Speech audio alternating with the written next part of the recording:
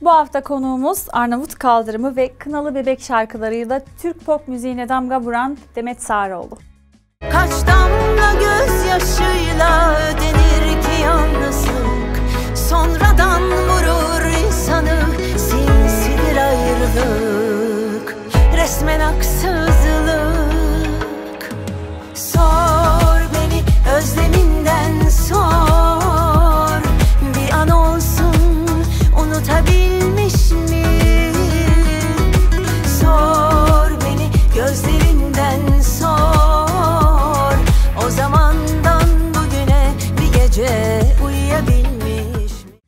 Demet Hanım merhaba, postlara hoş geldiniz. Merhabalar. Ee, yeni single'ınız hayırlı uğurlu olsun. teşekkür Öncelikle e, single'ınızı konuşmak istiyordum. Bu proje nasıl ortaya çıktı? Kimlerle çalıştınız? Tabii ben Amerika'dan geldikten sonra e, yeni şarkılar Evet. yapmalıyım dedim. Yaptığım şarkılar vardı zaten. E, kendi bestelerim, kendi sözlerim. Sonra menajerim e, Sinan Bey bana bu şarkıları getirdi böyle birkaç Evet. şarkı toplu. Aa bir baktım çok güzel. dedim hemen bunları alayım. Murat Güneş'e ait e, şarkı iki tane. Evet. şarkı aldım. Ee, Murat Güneş'in e, sözü müziği. Ee, çok beğendim. O yüzden de söyledim. Amerika'dan geldikten sonra yaptığınızı söylediniz. Amerika'da yaşamak müziğinizde herhangi bir etki yaptı mı? Bir etkisi oldu mu sizin yaptığınız? Bence oldu. Daha çıkmamış şarkılarım var. Evet. Ee, onları oldu. Onlar biraz daha e, tam Türk popu gibi değil de daha Evet. alternatif gibi. Ee, herhalde on, yani olmuş. Ee, çünkü bana şey dediler bu pop değil ama bu dediler. E dedim olsun. Hangi tarzda? Daha böyle jazz blues gibi Evet. e, bir tanesi. E, onları da yakında çıkaracağım. Ee, 90'lar esintisi var biraz e, müzikte. Ne söyleyebilirsiniz bununla ilgili? 90'lar şu anda daha evet. böyle dinleyenler daha çok nostaljik hisler yaşadığını söylüyorlar. E, araştırdığım kadar yorumlarda öyle yorumlara rast geldim. E, do- biraz söyleyebilirsiniz? 90'ların etkisi olmasını istedim zaten. E, hemen direkt e, ne yapılıyorsa ona uymak Evet. istemedim yani günümüzde ne yapılıyorsa. E, benim için 90'lar etkisi tabii ki olması gerekiyor benim için bence. Biraz ondan biraz ama günümüzün sound'una da uydurarak e, ikisini bir bütün haline getirmek daha iyi olur diye düşündüm. Öyle de oldu. Şimdi siz şan eğitimi almışsınız, opera eğitimi almışsınız. Evet. Daha sonrasında Türk sanat müziği Türk sanat aldınız. müziği şanı Aslında aldım. ikisi de birbirinden farklı ama aynı Evet. zamanda çok zor e, müzik türleri. Evet. Peki bunu nasıl başardınız? E, şanda bizi daha çok düz bir şekilde okumayı öğretiyorlar. işte legatolar ama e, Türk sanat müziğinde melizmları e, Evet. kullanıyoruz. Evet. E, nasıl oldu? Ee, o herhalde biraz mı? hiç zorlanmadım kulak herhalde kulaktan dolayı. Çünkü bizim ailede e, anne tarafımda Türk sanat müziği de dinlenirdi. O Evet. yüzden kulağım alışkındı yani e, radyodan TRT'de TRT radyo devamlı Türk sanat müziği genelde çalardı ya da Türkçe sözlü hafif müzik denirdi o zamanlar pop Evet. müziğe. Ee, ben onlarla büyüdüm. Ee, klasik müzik e, aslında daha farklı oldu bana. Klasik müzik de dinleniyordu tabii ki bizim zamanımızda ben de dinliyordum. Bizim ailede dinlenir. Ee, ama opera hiç dinlemiyordum. Sonrasında bunların hepsini çocukluktan geldiği için hepsi kulağımda kaldığı için herhalde.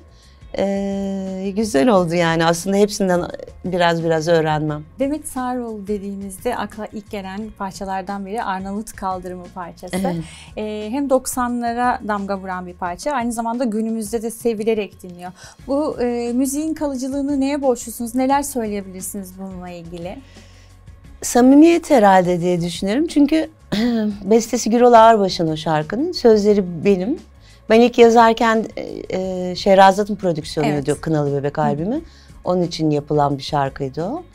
E, Gürol besteyi hazırladıktan sonra bana vermişti. Ben de öylesine üstüne bir sözler yazmıştım. Evet. Öylesine diyorum. E çünkü o zamanlar kaldırım maldırım öyle şey yoktu. Yani ben gerçek e, hakikaten dün seni gördüm rüyamda diye. Kendi yaşamımdan kesiti e, Evet. aktarmıştım şarkıyı. Sonra da dediler ki bana yok yok değiştirmeyelim biz bu böyle olsun. Hatta ismini Arnavut kaldırımı koyalım. Ee, peki dedim. Böyle olacağını düşünmüyordum tabii ki. Çok mutlu oldum kendi adıma. Kendi eserimin e, öne çıkmasına. Şarkılarınızın hikayeleri gibi e, kliplerinizin de çok güzel hikayeleri var. Film gibi diyebilirim. Evet. E, senaryoda siz de e, yorumda bulunuyor musunuz yoksa her şeyi yönetmene mi bırakıyorsunuz? Senaryoda çok e, bulunduğum olmadı ama yönetmeni ben karar veriyordum.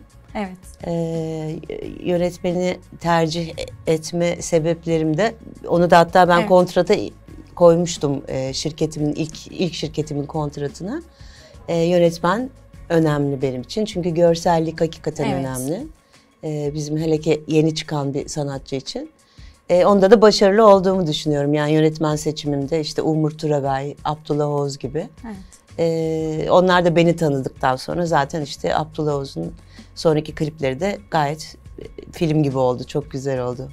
Klibinizde Bendeki. şu dikkatimi çekti. Heykeltıraşlık yapıyorsunuz orada. Yeni ve- klipte evet. Evet, e, seramik çalışmalarınız da var. Peki Evet. bunun üzerine sergi planlıyor musunuz? Öyle bir şey yapmak ister miydiniz? Ee, bununla ilgili teklifler geldi ama ben şöyle e, e, mesela seramik yaparken de birkaç tane tabak yaptım. Hı, Böyle şehir tabakları işte İstanbul, Paris Evet. gibi. Hep yapmak istediğim şeylerden biri bu arada. Öyle mi? Ben de işte onu Amerika'da fırsat bulabildim. Ee, ondan önce çünkü şeyim yoktu yani hani seramikle, çamurla ilgili bir e, e, ö- ön çalışmam yoktu. Epoksi çalışmaları yaptım Amerika'da. Ee, tablolar işte Evet. böyle atıyorum e, mesela mısır koçanı püskülüyle işte e, başka şeyleri Evet. birleştirdim falan onları işte e, epoksi döktüm vesaire hani boyadım ettim. Değişik çalışmalarım var. Mesela kartonlardan o gelen sipariş verdiğiniz kartonlardan Evet. boşa gitmesin diye onları kestim küçük küçük böyle işte aralarına böyle şeyler açtım. Böyle çok büyük bir şu boyda New York yaptım. Evet. Sonra onu boyadım. Aralardan arkasına çerçeve yaptım yine şeyden böyle geniş şu kalınlıkta bir çerçevesi oldu onun. Ve onun arkasına küçük ışıklar koydum. Ee, şahane bir New York e, konsepti oluştu. E, böyle şeyler yoktan var etmeyi de seviyorum. Değişik çalışmalar. Ben bunları tabii evde saklıyorum. E, çünkü hiçbirini tam olmuş. Hep amatörce gördüğüm için amatörce görüyorum. Bana diyorlar Aa, çok profesyonel sergi açalım. Diyorum biraz bekleyin daha sonra. Daha biraz daha çoğaltayım ondan Çok güzel sonra. olur bence. Sabırsızlıkla İnşallah, bekliyorum. inşallah. Ee, peki şöyle bir soru sormak istiyorum. Hani bir dinleyici olarak eski şarkıları dinlediğimde hem müzik hem de sözlerin birbirini tamamladığını görüyoruz. Ama günümüzde de tabii ki güzel parçalar var, güzel şarkılar var. Ama genel olarak e, anlamsız sözlerle karşılaşıyoruz. Müzikle söz birbirini tamamlamıyor. Sizin de fikirlerinizi almak istiyordum bu konuda. Neler söyleyebilirsiniz? Yani e, işte biraz akıma uyuyorlar galiba şimdi yeni arkadaşlarım. Ama bence şarkılarda bir giriş, gelişme Evet. ve sonuç olması gerekiyor. Yani bir şey başladığın zaman önce derdini anlatacaksın sonra gelişmeye bağlayacaksın, sonuca bağlayacaksın. Şöyle oldu, böyle oldu, ayrıldık ya da işte kavuşamadık vesaire. Şimdi biraz e, sözlerde ne dediği anlaşılmıyor yani. Hani sonuca gelemiyoruz. Eksik görüyorum bunu biraz tabii. Bazıları çok güzel oluyor tabii Evet. ki. Ee, siz- Güzel yapanlar var. Siz çok değerli isimlerle çalıştınız. Kayahan, Uzay Hepari ve Şehrazat gibi isimlerle. Bu isimler size ne, neler kattı?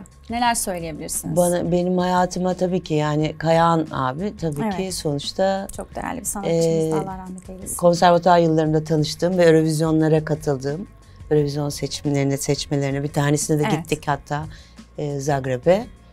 E, gözlerin hapsindeyimle çok şey kattı. Yani okul kadar Evet. okuldan belki daha da fazlasını. Çünkü pop müzikçi olduğum için artık sahnelere e, çıkacağım için çok şey öğrendim ondan. Şehrazat'tan öyle. E, bu isimler bana ne kattı?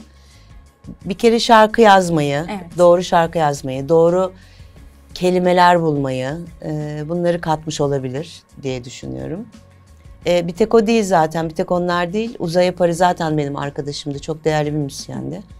E, Melih Kibar var, Atilla Özdemiroğlu var. İşte Evet. çok iyi isimlerle, çok değerli müzisyenlerle bir arada çalışma imkanı bulduğum için de çok şanslıyım. Gerçekten öyle. Ee, Demir Demirkan'la e, çalışmalarınız devam ediyor mu? Aslında Hayır. farklı bir tarzda O da rock, çalışma. evet. evet rock. Rock müziğiyle nasıl Çok severim, rock'ı da çok severim. Yani ben müziği seviyorum. Hepsini e, becerebilirsem Evet. denemek isterim tabii ki. e, Amerika'da da öyle turne yapmış ya da sahneye çıkmışlığımız var Demir Demirkan'la birlikte. Şarkıları Evet. rock söylüyorduk tabii ki o zaman. 17 Eylül'de 30. sanat yılınızı Evet. kutlayacaksınız. Bununla ilgili bir projeleriniz var mı? E, bana soruyorlar işte hep hani e, best of çıkaracak mısın, best of çıkaracak mısın? Evet. Best of çıkarmayı hiç düşünmedim açıkçası. Çünkü ben hep yeni şarkılar katmak e, taraflısıyım. Bugüne kadar da hep Evet. öyle oldu. Cover'da hiç okumadım desem yeridir yani. E, ya işte şeylerin albümünde böyle ustalarımızın albümlerinde okuduğum şarkılar Evet. var. Ama kendi albümüme koydum belki bir tane iki tanedir. O da hani e, jest olsun diye. E, o yüzden yeni şarkılar katmak istiyorum. 30. seneyle ilgili de pek bir düşüncem yok. 30'a geldik zaten. Son olarak da Yeni gelecek- şarkılar. Son olarak da gelecek projelerinizden konuşmak istiyorum. Ee, şöyle e, bir duet geliyor galiba. İstersen yani açıklarsanız Evet. çok sevinirim. Benim 20 20 sene önce Evet. yazdığım 20 sene olmuş. Bir şarkım vardı. Bir gün gideceğim buradan diye Evet. ve dedim mi gittim zaten. Ee, onu Bir daha gitmeyin. Onu e, geçenlerde e, Fazıl ve e, Cem Adrian'la Evet. birlikteydik. Yeme- yemek yedik. Birlikte olduk. Orada sordular ne oldu o şarkı dedi. dedim bir şey olmadı.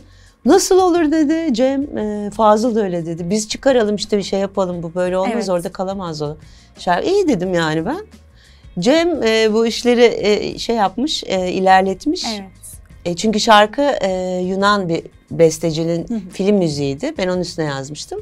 İzinlerini almak gerekiyor, telif e, ödemek gerekiyor. Evet. E, Cem onun işleri halletmiş. Şimdi herhalde o çıkacak. Ondan sonra haricinde- onun arkasında da Cem vokal yapacak. E, Provalara başladınız mı? Başlamadık. Cem şu anda çok yoğun biliyorsunuz. E, Türkiye'nin en çok konsere giden sanatçısı. Tabii.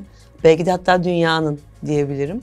Bu kadar sık bir, rekor kırmış Evet. olabilir Cem bu, ara- bu arada. Çok değerli bir sanatçı. Ee, bir de kendi onun onun 20. sene albümü olacak. Evet. Onda da bir şarkı Cem'in bir şarkısını söyleyeceğim.